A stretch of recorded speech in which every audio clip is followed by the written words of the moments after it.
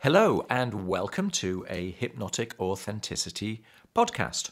This one is on the subject of letting go of limiting beliefs.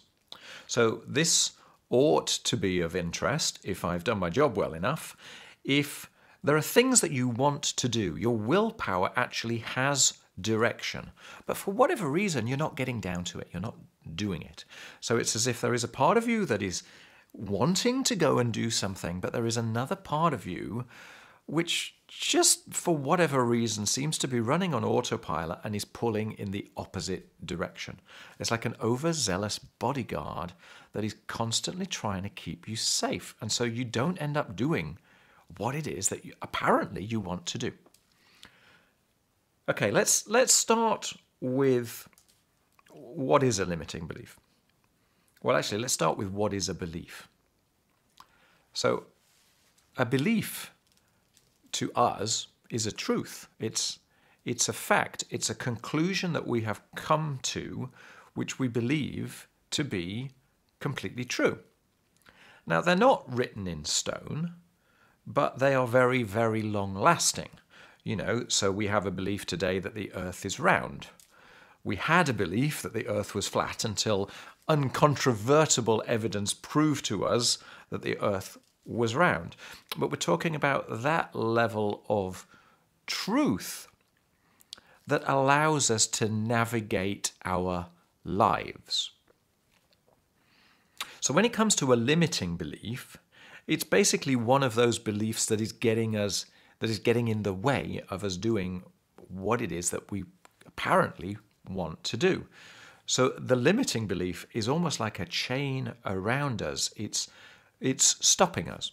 And, you know, the likelihood is that it's stopping us in order to keep us safe. It's not as if the limiting belief is totally haphazard. It's it's benevolent. It's trying to keep you safe. It's trying to preserve you for tomorrow. So it thinks it's doing a good job. So the question is, when you want to do something and this limiting belief is is in the way, what on earth do you do with it? How do you get rid of it? So let's talk briefly about learning. Let's talk about where beliefs come from, where knowledge comes from, in order to understand how you can rewire your limiting belief, you kind of have to understand, first of all, what it is that you're up against. Okay, what is your foe?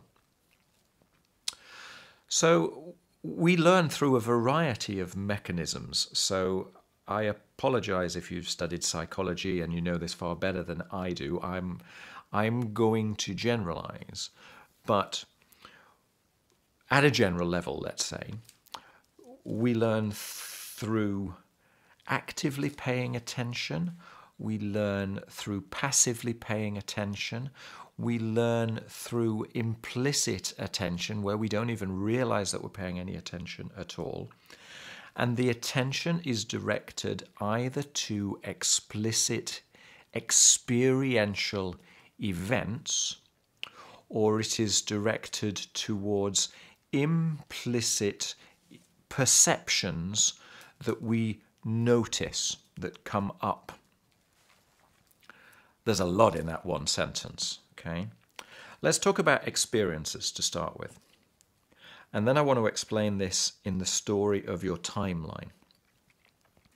So, experiences are things that occur to us. Maybe things that we choose, or maybe things that come as a complete surprise, but that we notice and we come to conclusions about. And these can be fabulous experiences, or they can be unexpected, uncomfortable experiences. They're all experiences, and we learn from them. You know, when you're a baby, you knock over a drink and it floods the table, and maybe mummy screams at you. Okay? You learn from that.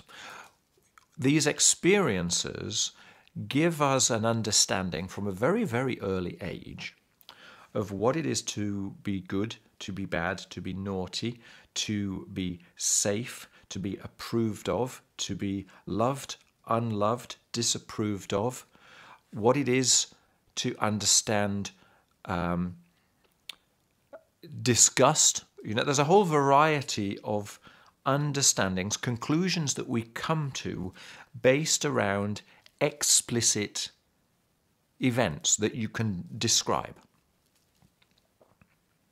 There are also implicit understandings that come to us, even when we're not aware that they're coming to us, or maybe we have a vague notion that they're coming to us, because the thinking part of our mind is, well, apparently, a very, very small subsection of the computing power of our brain. So apparently, our conscious mind can only hold within it at any one time between five and nine things. There might be a sort of a buffer, but at any one moment, that's what your conscious mind can think of. Whilst at the same time, you are perceiving everything. 100% of the day, you are perceiving inputs from your senses and coming to conclusions. But all of that is going on at the back of your mind. And it's only if something weird happens that that might kind of appear on the monitor of your consciousness. Okay? So 99.9% of these things are just occurring in the background, and because there's nothing notable, there's no reason to bring it up to conscious awareness. Occasionally, they will come up to conscious awareness, you know, oh, I'm cold, I need to put a jumper on, something like that, you know. Somebody did something which is totally out of character with how they normally are, and so it kind of comes up to consciousness. But the vast bulk of things, they just kind of burble along in the background. But if you consider, let's consider as a simple example systems, okay? Now, systems theory is describing the um, the environments within which we interact.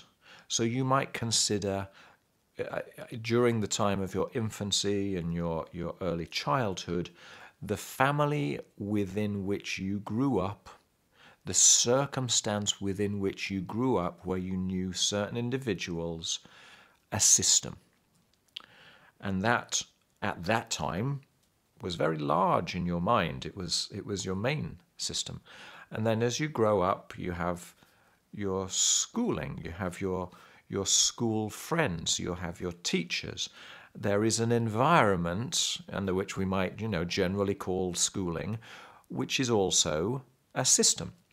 And then you get to university or to work, and there are your colleagues, and there are power and uh, disagreement and personality. And all of these things sit within a system that we might call employment, call your job. We have lots of these systems, and they're all kind of discrete, and sometimes we find ourselves slotting into that system and playing a role. We have to fit into the system that we find ourselves in. So, if we take that very earliest example, when you're very, very young indeed, you're in the family system, or however you were brought up. You're in, you're in a system, you're in an environment where you are essentially powerless. You can scream and shout, but you are dependent upon others to have your needs met. And so you must fit within the system. If you don't, you might not get fed, you might not get loved, you might not get your bottom changed. So you notice explicitly when people approve and disapprove of things that you do, okay? So that is experiential learning. But you also amazingly come to intuit the things which are not said. Okay, apparently communication is 95% non-verbal. It's 5% verbal. The rest is posture, expression, you know, noises, little tutting noises maybe, uh, a certain way of looking, a way of speaking or not speaking, the position of the body towards or away from you, and so on and so on. Non-verbals are massive. Taboos things which are unspoken and yet are like the elephant in the corner of the room. So, from a very early age, we implicitly come to conclusions about things that are not explicitly spoken, but we have a sort of an implicit awareness. And it doesn't necessarily come up to conscious awareness at all. This, this is why, you know, this is why adverts can be so extraordinarily effective, even when they don't have a message which you can recount afterwards. You don't even know what the message is, and yet you receive a feeling about the brand. Similar mechanism that's going on. So let's stick with the very, very early you. You'll have these experiences that are concluded based upon your actions as to what it is which is approved of, disapproved of, good, bad, naughty, safe, unsafe, painful, not painful, and so on and so forth. Then, because you're part of a family system or an environmental system, you will conclude from that, from the actions of others, all of whom have their own motivations, their own uh, stories running inside their own head, their own choices as to what is good, bad, right, wrong. And you have to fit into that system because you are vulnerable. So that will lead you to conclusions as to how you fit what you're good at, what you're bad at, what your role is. And then you go on, you know, as years go by, you develop, you find yourself placed in primary school or secondary school, you learn more, but you are still within a system which is kind of outside of your control. The infrastructure is larger than you, and so you conclude ways to thrive within that system. And this continues and continues and continues. But the whole time that it is continuing, you are concluding everything through the light of your earlier conclusions. So your very, very early knowledge is astonishingly powerful because the things that you already know, the things that you have concluded that you now take for granted as an incontrovertible truth, well, they are going to define the actions that you take in the future, the things that you take on and the things that you don't. And more importantly, maybe than that, they are going to define your expectation as to the outcome of that. And I won't go down the rabbit warren of what it is to interpret our experience, but your expectation of it has a very, very large part in what you look for and therefore what you find. So you tend to, as you grow up, you tend to compound, you nuance, but you tend to compound your earlier understandings. Unless something comes along which just shakes the etch a sketch and kind of says, that was completely wrong, you need to reassess. Okay, that can occur. But the majority of the time, we seem to reconfirm and nuance our earlier understandings, unless someone with a massive position of authority or some evidence comes along that, you know, incontrovertibly says, I'm sorry, the earth is round, the earth is not flat, and I can prove it to you because. Yeah? So, so then your beliefs can change. But normally your beliefs continue like they did yesterday. Now, the way that we learn, it's, it's not that this is a problem, okay? This is an incredibly useful mechanism. This is how we learn. You know, I said that we can only hold in our conscious mind between five and nine things, and yet we learn so much. So the way that we do it is by coming to conclusions, handing it over to the back of our mind, and then using rules of thumb, okay? So now we can get into memory. How do we remember what it is that we understand? Because it's not as if each memory is held in our brain in a discrete little pocket what happens is the memories are kind of they're, they're placed in different parts of our brain because they are associated with things of similarity, things that are familiar. And so the way that we understand and relate our knowledge and come to conclusions is through associations with our with the things that we already know, with the things that are already in our memory. So we are relating new memories to old memories. End result being that everything that we think we know and understand and recall today, actually, it's not as if we're just picking up a historical picture and running that in our mind. Actually, what we're doing is we are we are gathering threads from areas of our mind that where they were stored. We are reconstructing them, and therefore we're reconstructing and viewing that with today's eyes, with today's head. And so what we think of as a static memory, in actual fact, is never a static memory. It's constantly being placed in the mind in a deconstructed state, recalled with today's head, being reconstructed, being interpreted with today's head, and then put back into storage. So things are more fluid, is what I'm saying, than we think they are. But we end up with this conclusion today of who we are, where we have all of this knowledge, all of this understanding of what we're good at, what we're bad at, what's safe, what's approved of, what isn't. And the vast, vast bulk of that is handed over to the back of our mind for use when it's required. You know, we can't think of all these things at the front of our mind. Otherwise, we could never, ever drive a car. You know, we, we, we, it's really hard to drive a car, but then once you're used to it, actually it's completely automatic. You don't even know you're doing it, right? And, and this occurs with pretty much every skill that we are good at.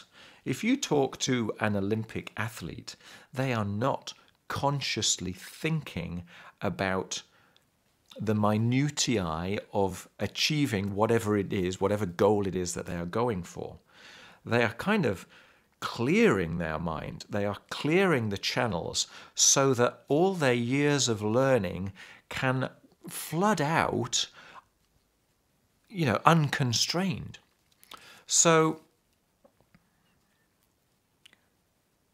that plus this idea of us using rules of thumb to bypass masses and masses of computing power in our brain, which would be exhausting, leads us to be able to lead our lives, right? To, to, to get on and do stuff. But, you know, tragically, it's also the same process that we use for our unhelpful beliefs that end up getting in our way. And they end up stuck at the back of our mind, and we don't even know that they're running anymore. They're just there. So I hope that gives you a context as to what it is that you're up against when you find yourself stuck, drawn away by a limiting belief. And I kind of already gave you the answer there. Okay? So the way to shift a limiting belief is by somebody or something providing incontrovertible evidence that the belief that you have is just plain wrong. So the question is how do you do that? Now, there are loads of ways of doing this. And I guess we'll, we'll just talk about two or three because you'll get the general gist. The big one is when life hits you with a wet fish. Something awful happens, and you have no choice whatsoever but to do something different. The dark night of the soul sort of approach, the oh my God, I have to change approach. The pain of continuing in the way I am continuing is screaming so loud that I must do something different. Because let's be honest, right? A limiting belief is tolerable. If it wasn't tolerable, you would have pushed through it. The sheer fact that it has a hold over you means that it's not sufficiently annoying or painful to whack out of the way, to hurdle, to dismiss, to say, I'm not listening to you again.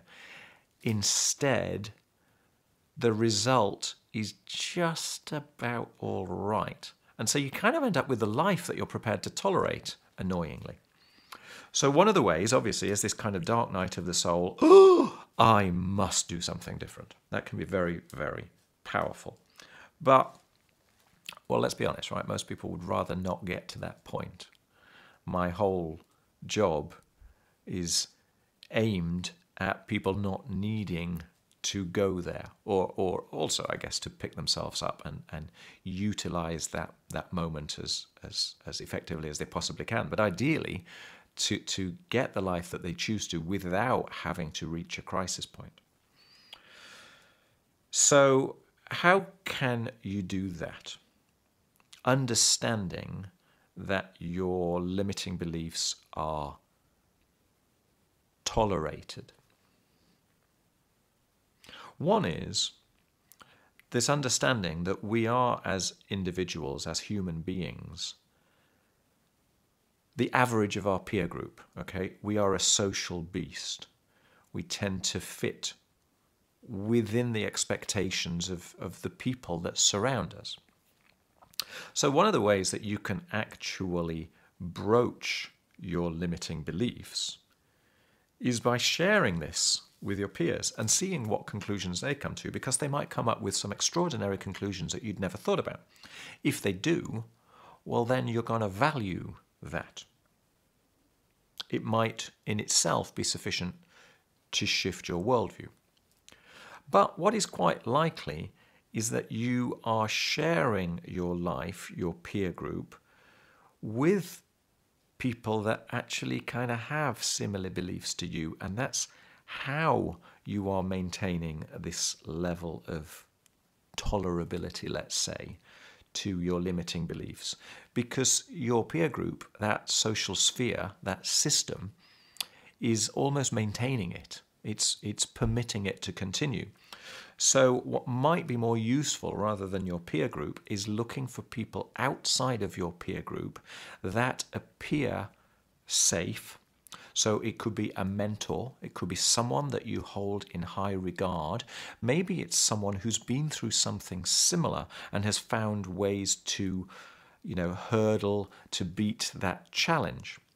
It could indeed be podcasts, books, videos, something that shines a light on a different way to your usual way of thinking, which has resulted in things that otherwise you wouldn't have noticed. What about mantras? This is this is interesting. Okay, so Coué, um, every day in every way, I'm getting better and better and better. What a wonderful mantra! And you see people, and they've got yellow post-it notes stuck on their mirror. Every day in every way, I'm getting better and better and better. Today. Uh, a friend is just a stranger I haven't met yet, you know? so, so something like that. Here's the thing with a mantra, okay? Your mantra, if it sits within your belief system, it's plausible, you're likely to go towards it, but it's already within the system that you are trapped within.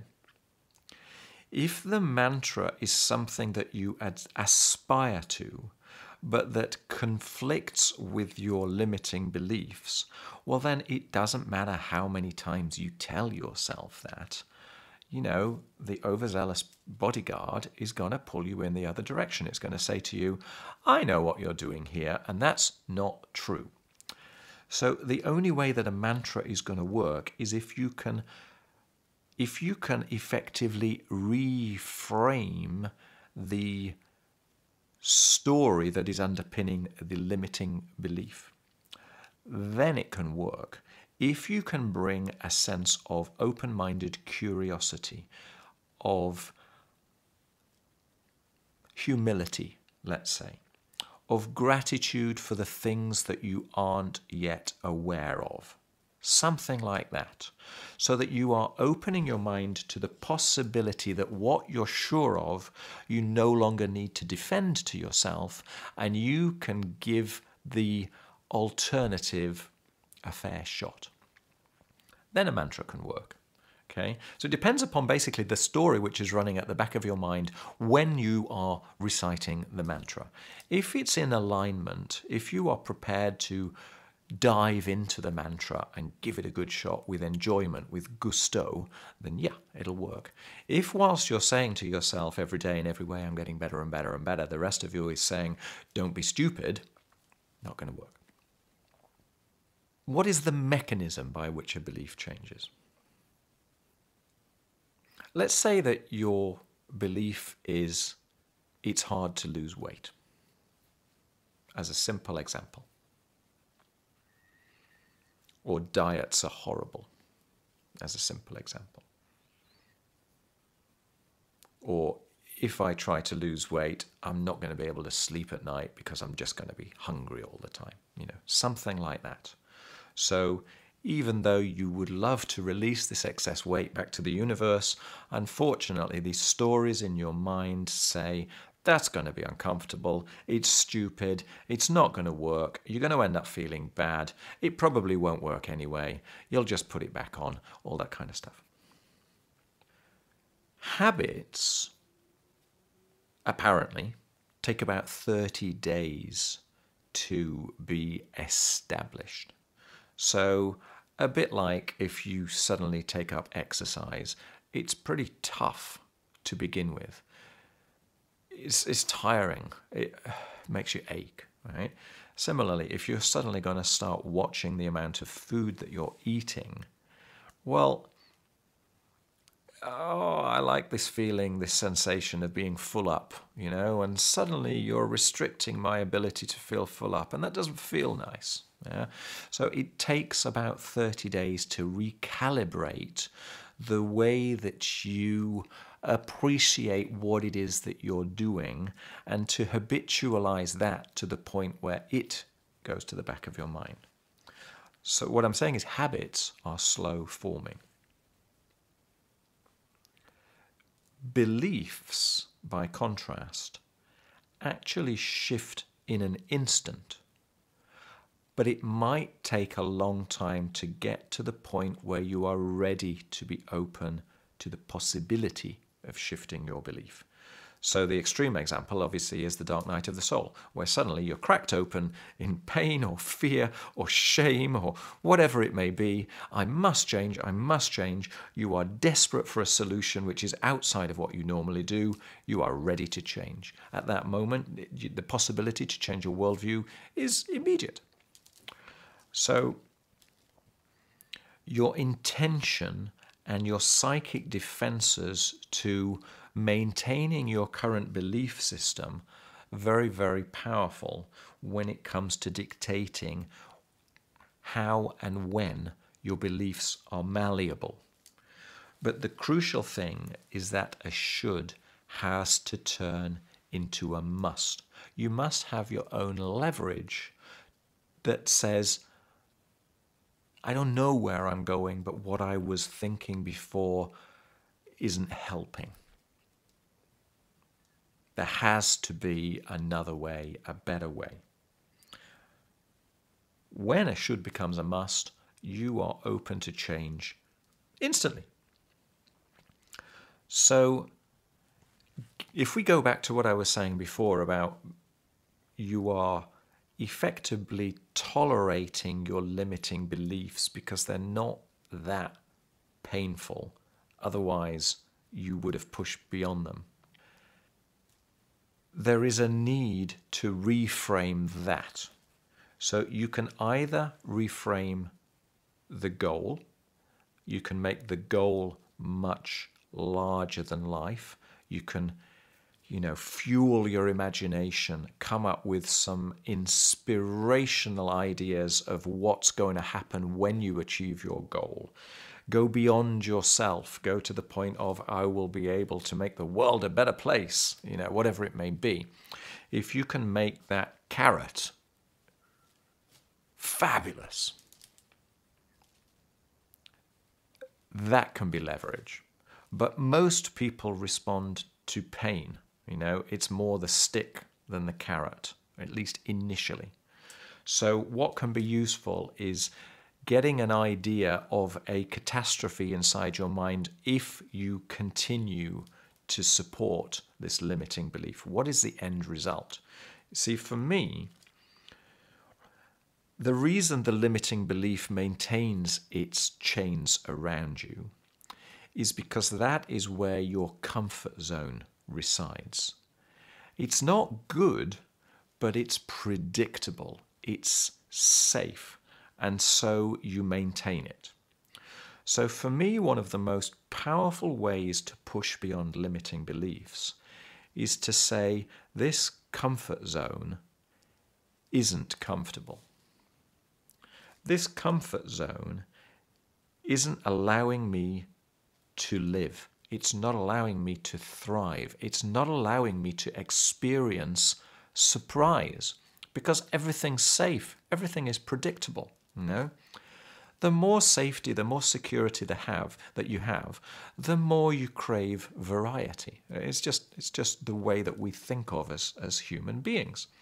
So I turn my comfort zone into a boring zone and have a gleaming goal that's drawing me towards it. So, you know, you can acknowledge that to step outside your comfort zone is fearful because you don't know what's the other side of the comfort zone. So maybe you can chunk down the steps outside the comfort zone.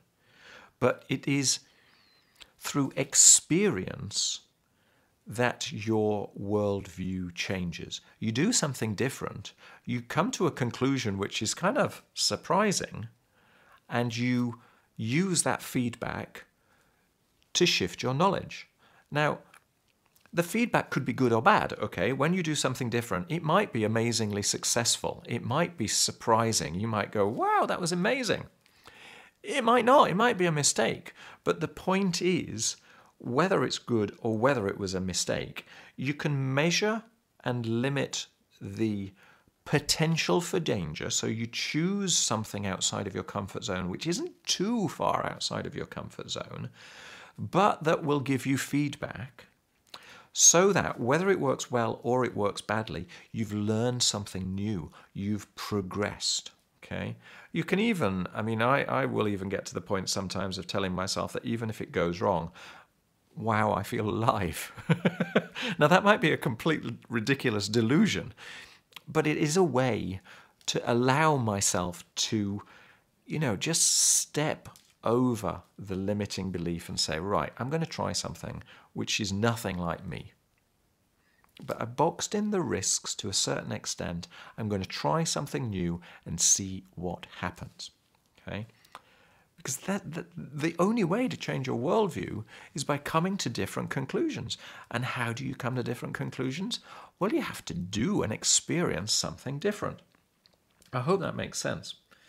It, the, the, the entirety of your understanding of yourself, you know, the, the reason that I go into hypnosis is because ordinarily our psychic defenses maintain a sort of a, a barrier around our deeply held beliefs.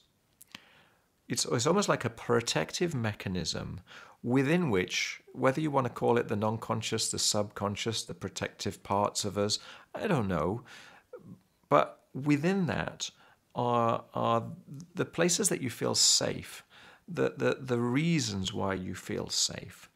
And so you, you tend psychically to protect that.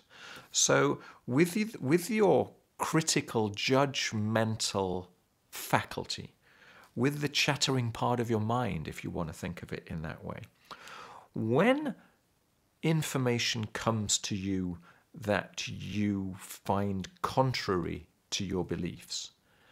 likelihood is you just flick it away. Straight away, you flick it away. You say, no, that's not right. The reason why I use hypnosis is because hypnosis quietens that part of your mind a little bit. It doesn't go away completely, but it is prepared to give you more access to your felt sense, to your intuition. So, not exclusively your intellectualizing side. And so you can come to appreciate different perspectives in the full knowledge that that judgmental side of you still exists and it's sat there making sure that everything is contextually safe and so on, but gives you permission to kind of go out beyond where you might normally be limited. So that, that for me, that's a way of bypassing that limiting protective layer. But you can do it through your imagination. You can do it through leverage all, all of these mechanisms work at the time that you choose for them to work. And effectively, this all goes back to what I was saying before. Is the limiting belief tolerable or is enough enough? Because that moment is the moment that the choice takes a split second. You don't necessarily know what's on the other side of that choice. You just know that this limiting belief isn't serving you anymore. There has to be a better way, even if I don't know what that is. And then you go out and explore. Because the alternative, either because it's ossifying, either because you're not learning anything, either because you're not growing, either because it's too painful to stay where you where you are, any of those will work or bring your own. And when I do that, I'm going to know myself better. My life will be a richer, more expansive experience. Maybe I'll discover the joy and connection inside of myself. Whatever appeals to you, you end up with a compelling reason to do something different. And for me, that's where limiting beliefs evaporate. You become free to explore. Doesn't mean to say that you won't go back to the limiting belief. If it maintains safe, sensible, valid reasons, you can maintain it, but it doesn't need to be there all the time. You can draw upon it at will as a safety mechanism when that is valid, but you can also push on and use a different way of thinking or believing or experiencing when the different way serves you. The whole purpose of this is to give you more options, more flexibility, so you can try stuff. I hope that's of interest. I've been talking for a while now, so I guess I'll uh, I guess I'll stop there. If it's useful, uh, subscribe. You know, I've got um, many many videos on on trying to make the world a better place, on on trying to help people live a life that they really, really can see but can't quite taste. And uh, and the number of podcasts is expanding weekly. So uh, so yeah, sign up, have a listen. If you have particular thoughts, let me know. I would love to hear. I would also like your guidance as to what it is in particular that you're interested in, and that will guide my future conversations. So thank you very much, and uh, take care. Until next time. Cheers. Bye.